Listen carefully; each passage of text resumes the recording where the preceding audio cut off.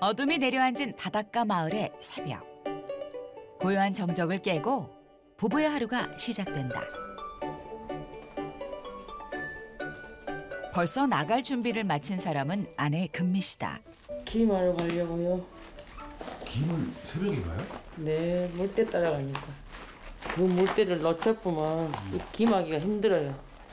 사람이 위험하기도 하고. 준비를 마친 아내가 남편 재흥 씨를 챙긴다.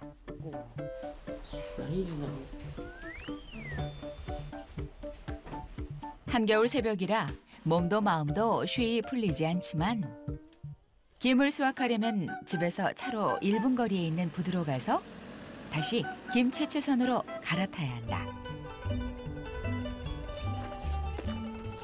칼날 같은 찬바람에 다시 한번 옷깃을 여미고 더 깊은 겨울바다로 향하는 부부. 새벽의 검푸른 물결 위에선 양식장의 부표가 유일한 이정표가 된다. 여거 여거 여거 이거 이거부터 이거 이거 빨간 거는 아니에요. 빨간 거는 아니고 이거부터 기, 이거부터 기어요. 해마다 겨울이 되면 부부는 14일 간격으로 물때를 맞춰서 김 수확을 한다. 한 번에 김발 10줄씩 하는 수확 작업은 채취선이 김발에 줄을 당겨서 줄에 붙은 김을 기계가 일일이 털어내는 방식이다.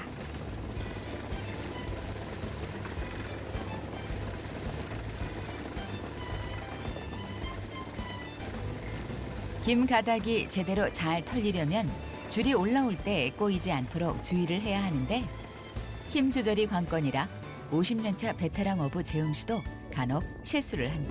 뭔가 기술이 잡아당겼어. 나까지 동네에 담가고 여기 꽉딱 때려버렸어. 지금 아파요 가지고. 그래? 앵간히 담그라고. 사람 죽일 일 있는 거 어떤가?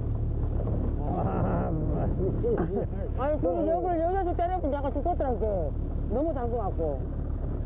뒤에가 눈이 하나 또 있어야 된디. 그래. 그래야 안 다친디. 눈이 없을 게 다쳐온다니까. 하지만 또 언제 그랬냐 싶게 살아온 세월만큼 부부는 손발이 척척 맞는다. 한 가닥이라도 버려지는 김이 없도록 한 줄씩 김 채취가 끝날 때마다 부부의 손놀림이 바쁘다. 바다에 나온 지 두시간 만에 마지막 열 번째 김발의 수확 작업이 다 끝나간다. 어느덧 채취선을 가득 채운 김을 보면 이 순간만큼은 바닷일의 고단함도 한겨울 추위도 한순간에 사라지는 것 같다. 아, 많이 나온 거야. 이정은 요- 요거이 내 것이야, 요거이 내 거. 더 이상 바라면 안 돼. 90가만이 나온다니까. 낙은 생각보다 잘 나온 거예요? 아니면 아예 잘 나온 거예요? 생각보다 많이 나온 거지. 이번에 바람 많이 불었잖아. 네. 그래도 그 바람에 이렇게 해서도 열 줄이나 열 줄이나 남았는데 생각 이 앞선에는 50줄을 다 했어도 요만한 못 나왔네. 해가 뜨기도 전에 속전속결로 김 수확 작업을 끝내고 나자 비로소 피로가 몰려든다. 아이고 힘들다 힘들어. 여보 힘든 게 일도 줄이고 사세. 아들 장가 보내려니까 한 5년 더 해야 돼. 5년? 바다를 닫아야 돼. 5년이나 더 해. 네, 나 죽겠네. 안 5년이나 돼요. 더 하면 어찌까라고. 더 해야지라.